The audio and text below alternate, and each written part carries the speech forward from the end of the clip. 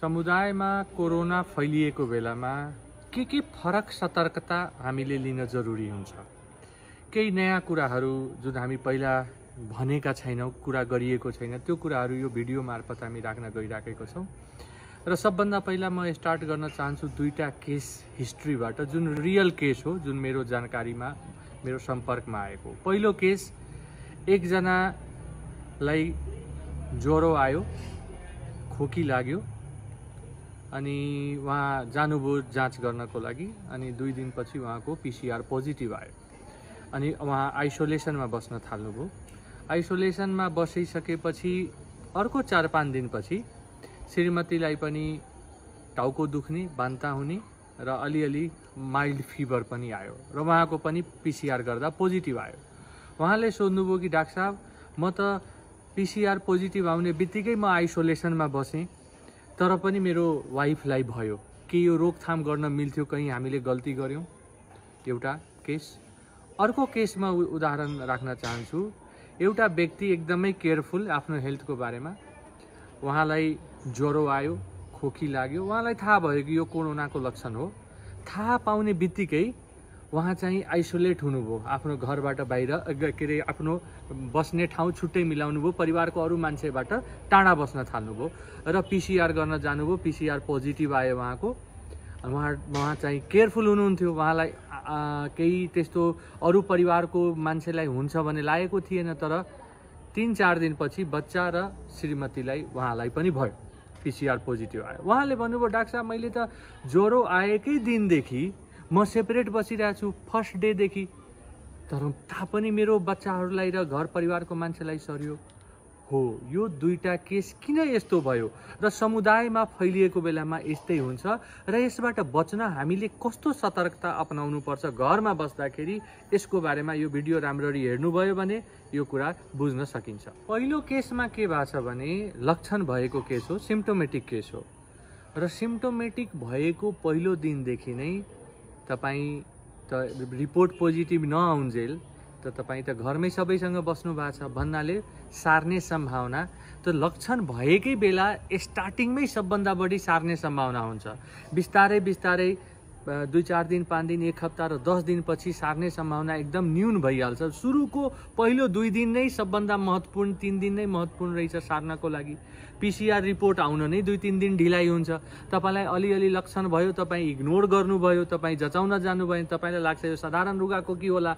र रहेछ कोरोना र त्यसले चाहिँ त्यति बेलासम्म तपाईँको परिवारको अरू मान्छेलाई सारिसकेको हुन्छ।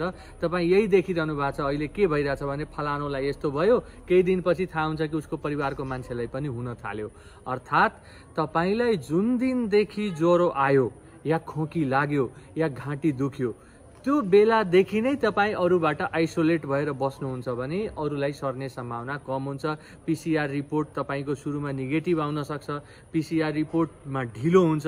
त्यसैले गल्ती पहिलो केसले के गल्ती गर्नुभयो भने उहाँहरूले पिसिआर रिपोर्ट होइन। समुदायमा फैलिसकेपछि ज्वरो आए कि खोकी अनावश्यक अचानक कसैलाई नर्मल मान्छेलाई खोकी बारम्बार लाग्न थाल्यो ज्वरो आयो घाँटी दुख्यो भने पहिलो कुरा के गर्ने भने आफूलाई अरूबाट टाढा चाहिँ दोस्रो केसमा के भएको छ भने उहाँहरू लक्षण हुने दिनदेखि आफूलाई टाढा राख्नुभयो एकदमै राम्रो गर्नुभयो। तर यहाँ एकदमै महत्त्वपूर्ण कुरा जुन मैले यो भिडियो मार्फत राख्न गइराखेँ यो कुरा एकदमै जरुरी छ सबैले बुझ्नको लागि कि के भयो भने तपाईँलाई आज तपाईँ कोही मान्छेसँग भेट्नुभयो ऊ व्यक्ति एकदमै हेल्दी छ खोकी लागेको छैन ज्वरो आएको छैन। अनि भोलि उसलाई ज्वरो आयो। अनि उसलाई पछि कोरोना साबित भयो भने एक दिन अगाडि तपाईँ भेट्नुभयो तपाईँ जोखिममा हुनुहुन्छ। किन जोखिममा हुनुहुन्छ भने चौबिसदेखि अडतालिस घन्टा लक्षण आउनुभन्दा अगाडिदेखि नै त्यो व्यक्तिको शरीरमा भाइरस धेरै हुन्छ। र के भनिन्छ भने भाइरस लोड झन् बढी हुन्छ। सुरुकै केही दिनमा ज्वरो देख्नुभन्दा अगाडि नै उसको भाइरस उसको शरीरमा मात्रा बढी। यदि त्यो व्यक्तिको तपाईँ सम्पर्कमा बस्नुभयो भने र उसलाई एक दिन दुई दिनपछि ज्वरो आयो भने पनि उसलाई चाहिँ उसले चाहिँ तपाईँलाई सारेको हुनसक्छ। यसलाई हामी भन्छौँ pre symptomatic spread. Pre symptomatic spread भनेको लक्षणभन्दा अगाडि नै स्प्रेड हुन्छ। त्यसैले भनिन्छ कि तपाईँ दुरी मेन्टेन गर्नुहोस् मास्क लगाउनुहोस्। तपाईँको सामने नर्मल हेल्दी व्यक्ति छ। तापनि तपाईँ यो प्रिकसन लिनुहोस्। किनभने थाहा छैन यो व्यक्तिलाई घर गएपछि या भोलि या पर्सि यसलाई इन्फेक्सन हुनसक्छ ज्वरो आउन सक्छ लक्षण आउन सक्छ। दोस्रो केसमा यही गल्ती भयो कि उहाँहरूले जब समुदायमा ठुलो नम्बरमा केसहरू भइसक्छ अनि तपाईँ थाहा छैन कि को व्यक्ति बाहिरबाट तपाईँ आउनुभयो तपाईँले सङ्क्रमण लिएर आउनुभयो तपाईँलाई लक्षण आज हुन्छ कि भोलि हुन्छ कि पर्सि हुन्छ थाहा छैन। तपाईँ परिवारसँग बसिरहनु भएको छ। जुन दिन तपाईँलाई ज्वरो आउँछ त्यति बेलासम्म तपाईँले अरूलाई सारिसकेको हुनसक्छ त्यसैले यो कुरा पनि विचार गर्नुपर्छ। अब तपाईँ भन्नुहुन्छ लक्षणै छैन। परिवारमा अब कसरी बस्ने त हो? यसकै लागि मैले चार पाँचवटा पोइन्टहरू भन् भन्न गइराखेको छु। यदि हामीले त्यो पोइन्टहरू फलो गऱ्यौँ भने हामीलाई लक्षण भए नभए पनि हामी एटलिस्ट आप परिवारको अरू मान्छेलाई हामी सार्दैनौँ। त्यसैले यो कुराहरूमा ध्यान दिनुहोस्। तपाईँको परिवारमा पाँच सातजना बस्नुहुन्छ कोही एकजना अफिस जान्छन् बाहिर जान्छन् भने यो होल परिवार नै जोखिममा छ। त्यसैले समुदायमा कोरोना फैलिएपछि त्यो एकजना व्यक्तिको कारणले परिवारको अरू मेम्बर रिस्कमा भएको कारणले त्यो एकजना व्यक्तिले धेरै सावधानी अप्नाउनु पर्छ र अप्नायो भने परिवारको अरू व्यक्तिलाई हामी जोगाउन सक्छौँ विशेष गरेर एल्डरली मान्छेहरू बुढापाकाहरू दीर्घ रोगीहरूलाई। त्यसको लागि सबभन्दा पहिलो कुरा के छ भने यदि कम्युनिटीमा ठुलो रूपमा भाइरसहरू फैलिसकेका छ मानव जो वीरगन्जको अवस्था छ विराटनगरको अवस्था छ केही दिनपछि अरू सहरहरूमा जब यो अवस्था आउनेछ अनि घरमा पनि मास्क लगाएर बस्नुपर्छ। जो व्यक्ति बाहिरबाट आउँछ घरकै परिवारकै व्यक्ति तर उसको कन्ट्याक्ट धेरै मान्छेसँग छ ऊ जोखिममा छ उसलाई हुनसक्छ लक्षण नभएको भोलि पर्सि लक्षण देखाउँछ। तर त्यो व्यक्तिले मास्क लगाएर यदि घरमा बस्यो भने उसले चाहिँ अरूलाई सार्दैन। र जब उसलाई लक्षण देखिन्छ त्यो बेलादेखि त आइसोलेसन कम्प्लिट बस्नै पर्यो। तर लक्षण नभएसम्म पनि त्यो व्यक्ति घरमा चाहिँ मास्क लगाएर बस्न जरुरी छ। यसको आधार के छ भने चाइनामा गरिएको स्टडीले जब पुरै समुदायमा फैलिसकेको बेलामा मास्क लगाएर जुन परिवारका व्यक्तिहरू बसे त्यसमा चाहिँ कोरोना सङ्क्रमण एकदमै कम देखियो अरूलाई सर्ने। तर जसले लगाएनन् उनीहरू आइसो लक्षण देखिएपछि आइसोलेसनमा बसे पनि परिवारको अरू मान्छेहरूलाई भएको देखियो।